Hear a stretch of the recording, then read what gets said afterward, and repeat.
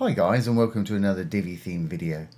This is Jamie from System22 and webdesignandtechtips.com. Well, we've got another great free animation for you today. We've got our Lottie animation here. We've downloaded it, it's free, and we're using a free module to display it from Divi Supreme Lite, which is also a free plugin. Now we've covered these before, we've showed you how to download them with an iframe and add them to a code module. Divi Supreme Lite has actually got its own module for doing this and it gives you a little more functionality. And Divi Supreme Lite, like I say, is absolutely free and I think it comes with about 20 or so little modules here and four extensions also. And I'll put these links below the video. For the actual animation itself, we're over at Lottie Files here. And I'll put this down below. I'm going to use a free one today. Simply go to Discover and Free Animations. Type in what you're looking for or just browse through if you prefer. Let's find one with some people in it. Okay, there's the one we just used. Let's perhaps take a different one. What I'm going to do is go to my page. Once you've downloaded Divi Supreme Lite, install it. And once you've installed it, you'll see it there in your little dashboard in the menu. If you click on it, it'll take you to the extensions page and we'll be covering these in further videos. But today all you need to do is install and activate it. Go to your page. Let's enable the Visual Builder. I'm going to delete the file that's here. And we'll start from scratch. I've got a section here. Inside it, I've got a row with two columns. Obviously, structure yours how you need to. I'm going to add a new module by clicking the little dark button here. Divi comes as standard with all the light grey modules here. When you install Divi Supreme Lite, here's the 20 modules that you get with it, the dark blue ones here. And there's more Divi regular ones right down the bottom here. If you have WooCommerce installed, Divi will also give you another dozen or so modules to display your products with. Okay, and if we look up here, we're looking for Supreme Lottie files. And there's our Supreme Lottie right there. I'm simply going to click on it. And it's going to ask us if we want to upload a Lottie JSON file. So let's go and choose a file from Lottie. Back to their site here.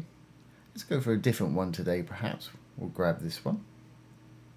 Now to download as a Lottie JSON file, you'll have to sign up for a free account. They don't spam you. And I've, I've been a member for a couple of years and I haven't had anything other than a couple of emails from them, so don't worry about them spamming you. It's absolutely free. Okay, when, when you're ready, hit the download button. And I'm going to download a Lottie JSON file. Last time we did this, we did it for a computer. We just did HTML and built it as an iframe. This one just gives you a little more functionality. As you can see, it's downloaded my JSON file to my browser here. I'm using Google Chrome. If you're not using Chrome, yours is going to download to your default download location, which is usually in your documents in My Downloads. Okay, now we've downloaded it, let's go back to our page, hit the Upload Lottie JSON file button. I'm simply going to drag this up here and drop it, or you can browse to it if you prefer. And let's hit the upload a JSON file button. Great, and there's our little animation there, it looks quite good. Almost fits in with my color scheme too. And I don't know if you noticed when we were there, you can actually customize these slightly. Changing the colors and things if you want to down here in color palettes. Okay, so we've got our file there. I want it to loop. In other words, I want it to keep going and going and going. Don't want any delay. I want it to start as soon as the, the page loads. You've got an option to reverse it if you prefer. That's actually going the other way now. I'll put it back to forward, normal. You can make it go faster by moving this to the right. We're at 1 at the moment, which is normal speed. If you want it faster, just pull it to the right. 1.5. Or if you want it slower, pull it to the left, obviously. 0.5.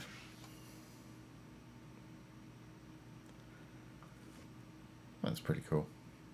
Animating viewport, the amount that it's going to animate, I'm going to take that up to 100%. I want the animations to be exaggerated as possible. If you want to link this module, in other words, if they hover their mouse over it and you want them to click on it and take them somewhere, you can put your link in here. Simply put your link in there. Always best practice, if you're linking to your own site, open it in the same window. If you're linking off-site, open it in a new tab. That way your site will stay open. If you want to add a background color, you can do so here, or gradient, or image, or text. Just select the color you want, pop it in the background there. I'm happy with the way it was. Either put a white or transparent, or hit the trash can and take that background away. Great. That's pretty much all we want to do. You can make it bigger or smaller. At the moment, it's taking up 100% of the width of the column there.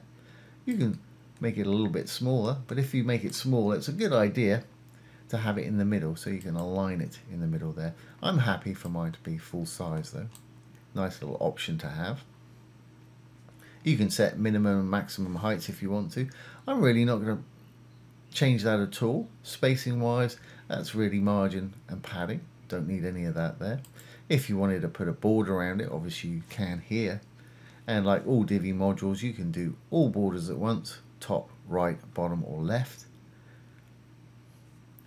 simply set the thickness of the border that you want there and then the color that you want your border. And you've got the usual style, solid, dotted, dashed, grooved. I'm going to leave mine just like that. Fact, I'm not sure I actually need a border, but it's an option. And of course you can add box shadow, like you can with any other Divi module. And that's going to get people's attention pretty quickly. It's a nice thing to have on your site, and it's a free feature. So let's save our changes, make sure this is going to work on the front end. And exit the Visual Builder. And there we have it. There is our little animated Lottie file. And like I say, we downloaded that as a JSON and we've used the free Divi Supreme Lite module to put it on our page. And again, I'll put the Divi Supreme Lite link down below and also the Lottie animations down below.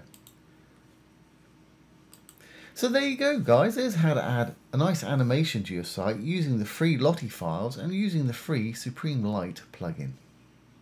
I hope you've enjoyed this today and found it useful. If you have, please give it a thumbs up, ring the bell, comment, share and subscribe to the YouTube channel. And don't forget, we'll be doing more videos on this in the future and I'll be going over some of these extensions as well as some of the other modules in the Divi Supreme Lite.